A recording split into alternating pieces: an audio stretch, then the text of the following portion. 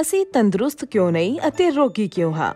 ਆਖਿਰ ਇਸ ਦਾ ਸਹੀ ਜਵਾਬ ਕੀ ਹੈ? ਕਿਤੇ ਸਾਡੀਆਂ ਹੀ ਗਲਤੀਆਂ ਨਾਲ ਅਸੀਂ ਖੁਦ ਨੂੰ ਬਿਮਾਰੀਆਂ ਵਿੱਚ ਤਾਂ ਨਹੀਂ ਘੇਰਿਆ ਹੋਇਆ? ਇਸ ਸਵਾਲ ਦਾ ਜਵਾਬ ਬਹੁਤ ਹੀ ਆਸਾਨੀ ਨਾਲ ਇਸ ਤਰ੍ਹਾਂ ਦਿੱਤਾ ਜਾ ਸਕਦਾ ਹੈ ਕਿ ਅਸੀਂ ਤੰਦਰੁਸਤ ਅਤੇ ਨਿਰੋਗ ਨਾ ਰਹਿਣ ਦੀ ਗੱਲ ਆਪਣੇ ਮਨ ਵਿੱਚ ਹੀ ਧਾਰ ਰੱਖੀ ਹੈ। ਅਸੀਂ ਆਪਣੀਆਂ ਆਦਤਾਂ ਇੰਨੀਆਂ ਵਿਗਾੜ ਰੱਖੀਆਂ ਹਨ ਕਿ ਉਹਨਾਂ ਆਦਤਾਂ ਕਰਕੇ ਅਸੀਂ ਤੰਦਰੁਸਤ ਅਤੇ ਨਿਰੋਗ ਰਹਿ ਹੀ ਨਹੀਂ ਸਕਦੇ। ਸਾਡੀ ਸਭ ਤੋਂ ਪਹਿਲੀ ਆਦਤ ਤਾਂ ਇਹ ਹੈ ਕਿ ਅਸੀਂ ਸਵੇਰੇ ਬਿਸਤਰੇ ਤੇ ਅੱਖਾਂ ਖੋਲਦੇ ਸਾਰ ਹੀ ਬੈੱਡ ਟੀ ਯਾਨੀ ਕਿ ਸਵੇਰ ਦੀ ਚਾਹ ਲੈ ਲੈਂਦੇ ਹਾਂ। ਚਾਹ ਪੀਣ ਤੋਂ ਬਾਅਦ ਸਾਡੀਆਂ ਅੱਖਾਂ ਤਾਂ ਪੂਰੀ ਤਰ੍ਹਾਂ ਖੁੱਲ ਜਾਂਦੀਆਂ ਨੇ, ਪਰ ਉਸ ਦਾ ਪ੍ਰਭਾਵ ਸਾਡੇ ਸਰੀਰ ਤੇ ਕਿੰਨਾ ਹਾਨੀਕਾਰਕ ਹੁੰਦਾ ਹੈ। ਇਸ ਗੱਲ ਨੂੰ ਸ਼ਾਇਦ ਅਸੀਂ ਕਦੇ ਜਾਣਨ ਦੀ ਕੋਸ਼ਿਸ਼ ਹੀ ਨਹੀਂ ਕਰਦੇ ਹਾਂ। ਸੱਚ ਤਾਂ ਇਹ ਹੈ ਕਿ ਜਿਉਂ-ਜਿਉਂ ਅਜੋਕੀ ਸਭਿਅਤਾ ਦਾ ਪ੍ਰਚਾਰ ਹੁੰਦਾ ਜਾ ਰਿਹਾ ਹੈ, ਸਾਡੇ ਸਮਾਜ ਵਿੱਚ ਚਾਹ ਦਾ ਰਿਵਾਜ ਉਨਾ ਹੀ ਜ਼ੋਰ ਫੜਦਾ ਜਾ ਰਿਹਾ ਹੈ। ਅੱਜ ਦੇ ਇਸ ਨਵੇਂ ਦੌਰ ਵਿੱਚ ਜ਼ਿਆਦਾਤਰ ਲੋਕ ਸਵੇਰੇ ਉੱਠਦੇ ਸਾਰ ਹੀ ਚਾਹ ਲੈਣ ਦੇ ਆਦੀ ਹੁੰਦੇ ਜਾ ਰਹੇ ਨੇ ਅਤੇ ਸਾਡੀ ਤਰ੍ਹਾਂ ਉਹ ਵੀ ਇਸ ਗੱਲ ਤੋਂ ਅਣਜਾਣ ਹਨ ਕਿ ਸਿਹਤਮੰਦ ਅਤੇ ਨਿਰੋਗੀ ਜੀਵਨ ਵਿੱਚ ਚਾਹ ਦੀ ਕੋਈ ਮਹੱਤਤਾ ਨਹੀਂ ਹੈ। ਠੰਡੇ ਅਤੇ ਯੂਰਪੀ ਦੇਸ਼ਾਂ ਦੀ ਗੱਲ ਹੋਰ ਹੈ, ਪਰ ਭਾਰਤ ਜਿਹੇ ਗਰਮ ਦੇਸ਼ ਵਿੱਚ ਚਾਹ ਦਾ ਕੋਈ ਮਹੱਤਵ ਅਤੇ ਅਰਥ ਨਹੀਂ ਹੈ। ਕੁਝ ਹਾਲਾਤਾਂ ਵਿੱਚ ਚਾਹ ਨੂੰ ਇੱਕ ਦਵਾਈ ਦੇ ਤੌਰ ਤੇ ਵਰਤਿਆ ਤਾਂ ਜਾ ਸਕਦਾ ਹੈ, ਪਰ ਇਸ ਨੂੰ ਆਪਣੀ ਆਦਤ ਨਹੀਂ ਬਣਾਉਣਾ ਚਾਹੀਦਾ। ਸਿਹਤਮੰਦ ਅਤੇ ਸੁੰਦਰਤਾ ਪ੍ਰਾਪਤੀ ਦੇ ਪੱਖੋਂ ਚਾਹ ਪੀਣਾ ਸਰਾਸਰ ਇੱਕ ਗਲਤ ਆਦਤ ਹੀ ਮੰਨਣੀ ਹੋਵੇਗੀ। ਚਾਹ ਇੱਕ ਤਰ੍ਹਾਂ ਜ਼ਹਿਰ ਵਾਂਗ ਸਰੀਰ ਵਿੱਚ ਫੈਲ ਕੇ ਸਾਡੇ ਸਰੀਰ ਤੇ ਆਪਣਾ ਅਧਿਕਾਰ ਜਮਾ ਲੈਂਦੀ ਹੈ ਅਤੇ ਫਿਰ ਇੱਕ ਸਮਾਂ ਅਜਿਹਾ ਹੁੰਦਾ ਹੈ ਕਿ ਅਸੀਂ ਚਾਹ ਦੇ ਬਿਨਾ ਰਹਿ ਹੀ ਨਹੀਂ ਸਕਦੇ। ਚਾਹ ਵਿੱਚ ਥੈਨੇ ਨਾਂ ਦਾ ਇੱਕ ਅਜਿਹਾ ਤੱਤ ਹੁੰਦਾ ਹੈ, ਜੋ ਖੂਨ ਨੂੰ ਸ਼ੁੱਧ ਨਹੀਂ ਹੋਣ ਦਿੰਦਾ। ਖੂਨ ਦੇ ਗੰਧ ਨੂੰ ਬਾਹਰ ਨਹੀਂ ਨਿਕਲਣ ਦਿੰਦਾ।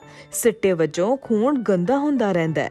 ਜ਼ਿਆਦਾ ਚਾਹ ਪੀਣ ਵਾਲਿਆਂ ਦੀਆਂ ਅੱਖਾਂ ਤੁਹਾਨੂੰ ਹਮੇਸ਼ਾ ਹੀ ਧੁੰਦਲੀਆਂ ਅਤੇ ਉਦਾਸ ਦਿਖਾਈ ਦੇਣਗੀਆਂ। ਚਿਹਰੇ ਤੇ ਰੁੱਖਾਪਣ ਜਾਂ ਕਿਤੇ-ਕਿਤੇ ਅਸਾਧਾਰਨ ਚਿਕਨਾਪਨ ਵੀ ਤੁਹਾਨੂੰ ਦਿਖਾਈ ਦੇਵੇਗਾ।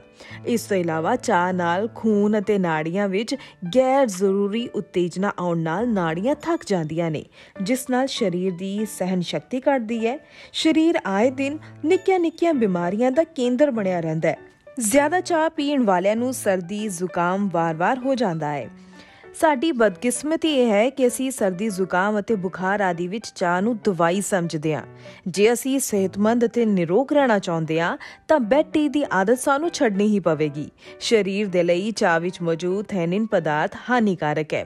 ਭਾਵੇਂ ਥੈਨਿਨ ਨਾਲ ਗਿਆਨ ਤੰਤੂ ਉਤੇਜਿਤ ਹੁੰਦੇ ਹਨ ਅਤੇ ਫੌਰੀ ਤੌਰ ਤੇ ਸਰੀਰ ਵਿੱਚ ਤਾਕਤ ਦਾ ਅਹਿਸਾਸ ਵੀ ਹੁੰਦਾ ਹੈ, ਪਰ ਜ਼ਿਆਦਾ ਮਾਤਰਾ ਵਿੱਚ ਚਾਹ ਪੀਣ ਨਾਲ ਉਤੇਜਨਾ ਦੇ ਕਾਰਨ ਨੀਂਦ ਉੜ ਜਾਂਦੀ ਹੈ।